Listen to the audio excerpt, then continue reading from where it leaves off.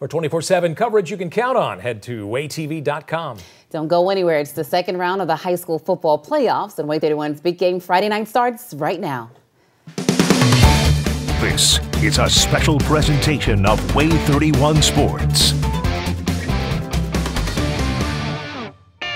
It's the McCurry Big Game Friday night. Hello, Alabama, find a comfortable spot. We got high school football and it's coming out hot. Now here we are,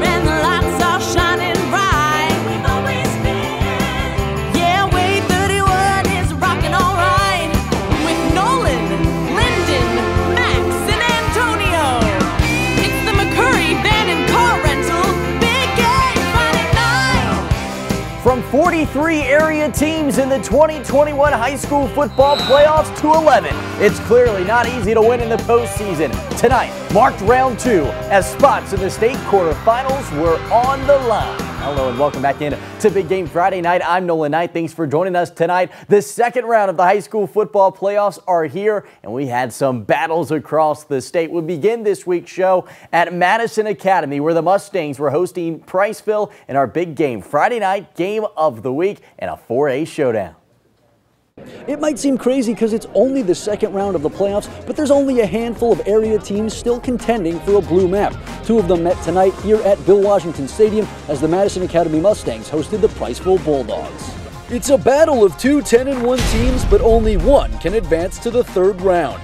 Still scoreless in the first, Priceville's Mason Carty looks to find a way out of a bad situation following a high snap, but Madison Academy's Deuce Spurlock gave him no chance, dragging him down as the Mustangs forced the Bulldogs to punt. So with the ball, Madison Academy plays the hits. A Will Stokes carry gets the job done as MA takes a 7-0 lead. Priceville would eventually get some movement. Carty on the toss and he gets to the outside and takes a slide, but Madison Academy would hold them again, and that means Will Stokes is going to get the ball back in his hands, and man, is he hard to contain. Stokes stretches and the Stangs have a 14 point advantage.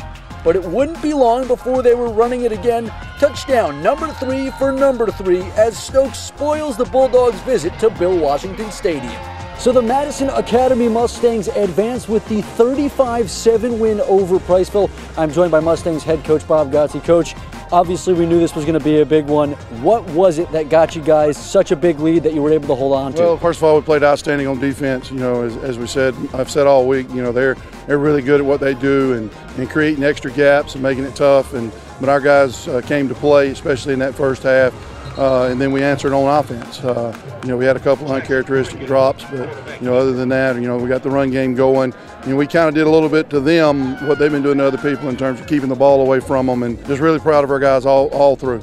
In your time here, this is the team's first visit to the third round. What does this mean to you and the program? Well, I just think we're on the right track. We got kids that have, have paid their dues.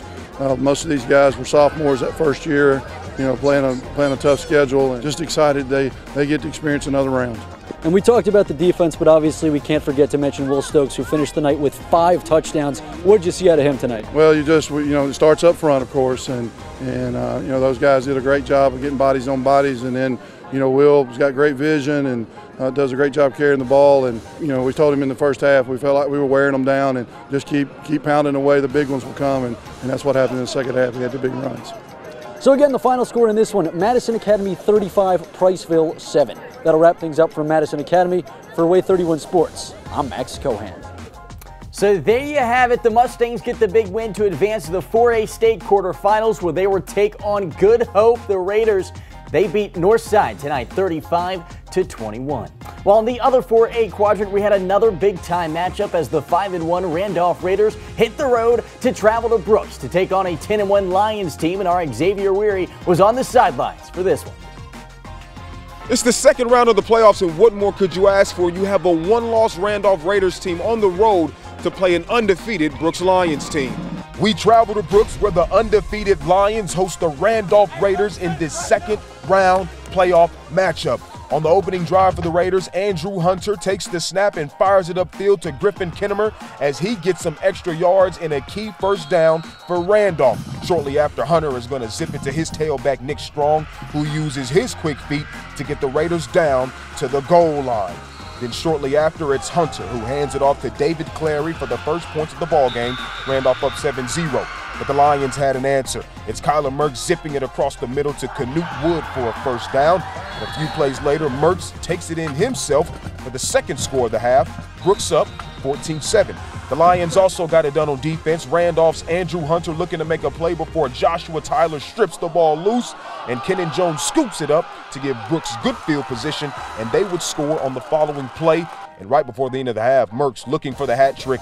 He follows his blockers and cuts it upfield, evades one would-be tackler, and jets into the end zone as Brooks takes the 28-7 lead into halftime. In Brooks as the Lions just defeated the Randolph Raiders 42-21. I'm with Brooks head coach Black, Brad Black. Coach, what was working so well for you all tonight? I just played hard tonight, played clean. Super proud of our kids, super proud of our coaches. Community showed up. What a crowd! Uh, just it was a great environment, man. And we played really hard tonight, and we played clean, and that's what we were looking for. So you know, moving forward, you know, we told them we thought we had a good chance if we go out and play the right way and play clean. You talk about playing clean. Y'all been clean all season. You haven't lost a game. I mean, talk about that. That's that's the weird part. We're, we have not played clean, you know, and that's that's the frustrating part, I guess, is I don't know that we've played our best football yet, you know, and, and that's exciting as a coach, but it's time to do it. You know, I think we made a good big step that way tonight for sure you have a special player under center. I mean, talk about his impact tonight and what he was doing for you all. He's going to be like I am. He's going to give you the credit to all the guys up front because without them, he can't do it. He's a great player, great competitor. Uh, kid's a warrior. I mean, it is what it is. I think he's one of the best players in the state, any classification included, for sure. Good luck to you all next week, Coach. And the, again, the final score was 42-21 as the Brooks Lions defeat the Randolph Raiders. I'm Xavier Wary, WAAY 31 Sports. So a big win for Brooks. That puts them into the quarterfinals where they will take on Aniani. All right, well, let's shift our attention now to 2A, the defending state champs. Mars Hill in action tonight at home, hosting Tanner. Tanner in a 2A showdown, and Tanner would threat early. A handoff to Trey Crutcher. He makes a nice cut and falls into the end zone to take a 7 0 lead. But Mars Hill would respond. Quick pitch to Damian Thompson, and he's got a convoy with him down the sideline, 55 yards to the house. We got a tie game at 7 apiece, and we would stay tied deep into the half. Tied at 14 now when Mars Hill takes the lead. Trey Dobbs gets in from the two. Mars Hill out on top 21 14. Then with just 20 some seconds left in the half, Mars Hill strikes again. Griffin Hanson keeps it this time for himself. He takes it in for the score as they take a two-score lead into the break, and they end up with the big win over Tanner tonight, 47 to 20. So there you have it. The Panthers advance after the big victory, and now will take on a Spring Garden team who gets a big win over Aliceville tonight after a 40-35 win. That game should be a battle. While in that other 2A quadrant, here's a look at the night scores. Southeastern takes down Sulligent tonight 37 to 18 with the spot on the line to take on the winner of Cleveland in midfield. And it's Cleveland who gets the win to advance to the quarterfinals. Last week, it was a tough week for our bigger high schools in the area. All of 7A and 6A schools were knocked out in the first round, and all of our 5A schools were eliminated as well except for Russellville. The Golden Tigers in action tonight in the 5A playoffs, taking on Fairview. First quarter.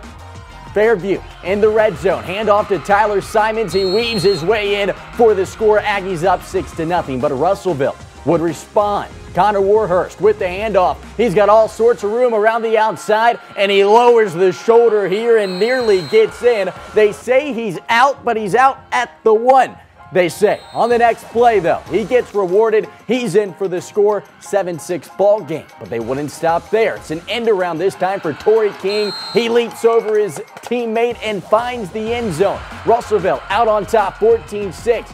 But this play at the buzzer for halftime, a bad snap, but it turns into six as Tyler Simons comes down with it in the end zone. It's a tie game 21 21 at the half. And in the end, the Aggies in the Golden Tigers season with a massive win 35 to 21. So here's a look at the rest of 5A. After the win, Fairview will now take on Parker after they get a big win tonight over Alexandria. While in the other 5A quadrant, Ramsey took down Center Point for a chance to take on Pleasant Grove after they got a big win tonight 35 to nothing over Leeds. All right, guys, well, that wraps up Class 5A, Class 4A, and Class 2A. But coming up next on Big Game Friday night, we talk more high school football, including your defending state champions, the Fyffe Red Devils, in action tonight on the road. Big Game Friday night returns after this.